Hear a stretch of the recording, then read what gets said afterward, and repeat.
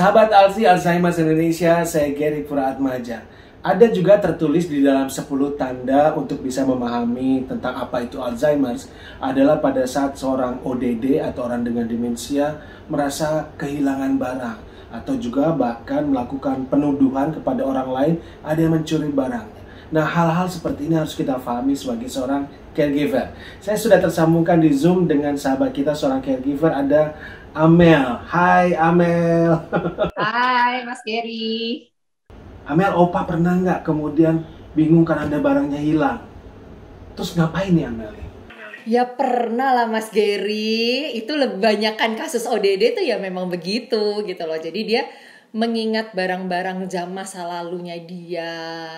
Kayak kalau di kasus Amel ya, memang barang-barang berharga itu Amel simpen karena kan kita nggak pernah tahu ya namanya caregiver, namanya orang, apalagi opa kan udah nggak ingat apa-apa kan ya dijahatin itu adalah abusive itu adalah dia memang korban yang paling gampang.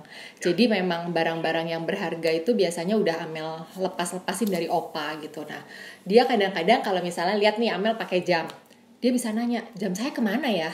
Gitu.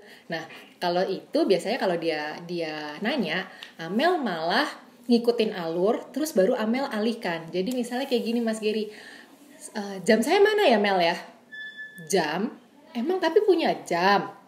Punya. Oh tapi punya jam. Jamnya kayak apa? Coba jelasin kayak Amel. Nanti Amel cariin deh. Jamnya warna apa? Terus jamnya bentuknya kayak apa? Nah jadi uh, di situ Amel jadi malah uh, apa ya bisa berkomunikasi dengan opa. Karena kan komunikasi sama opa itu udah nggak gampang. Cuman hanya kita bisa komunikasi apa yang dia mau. Sedangkan dia komunikasi pun ya kadang maunya kalau udah masuk mulai ke late stage maunya cuma tidur diem pasif. Nah dengan kayak gitu malah amal jadi bahan buat berkomunikasi sama opa. Jadi kita ngobrol oh terus nanti nyambung lagi. Oh jamnya warna apa? Nanti lama-lama opa bingung diem. Dia mikir-mikir. Nah terus oh dulu opa tuh uh, pakai jam itu ke mana aja? Terus eh, jadi ya itulah. Jadi nyambung kita ngikutin alurnya dia tapi habis itu setelah itu kita mengalihkan gitu. Nah di situ jadi menurut Kamel itu cara gimana kita spend waktu together sama dia ya bisa ada obrolan sama dia quality time menurut Amel.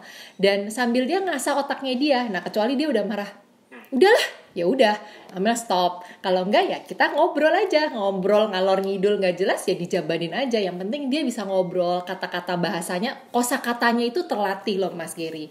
Kalau itu si Amel ya karena ODD Amel udah jujur masuk late stage di mana kata-katanya semua udah mulai kegerus. Dia mau ngomong apa keluarnya apa gitu Gitu sih Mas Gary.